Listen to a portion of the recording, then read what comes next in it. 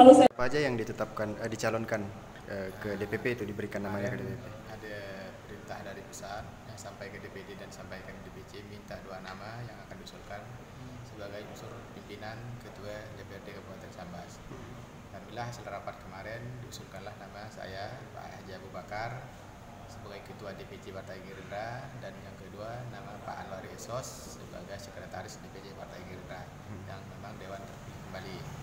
Dan alhamdulillah kemarin sudah disampaikan ke DPD dan DPD sampaikan ke DPP. Maka di sana ada tim 20 dan sudah selesai hasil bentuknya pun sudah ada SK-nya sudah keluar saya sampaikan ke sekretaris DPRD juga.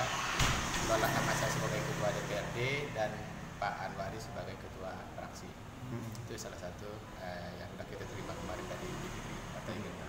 Arti kalau dari Gerindra sudah final Pak ya? sudah final tidak ada setelah SK sementara atau unsur unsur ketua sementara tapi dia langsung definitif Hmm, Definitif. Artinya nanti eh, secara kelembagaan nanti ketua sementaranya dulu, eh, Pak Haji dulu, baru Iya. nanti dilantik sebagai ketua DPRD tetap Pak Haji Pak ya? iya sesuai dengan SK dari DPP seperti itu Oke, siap Haji. Ya.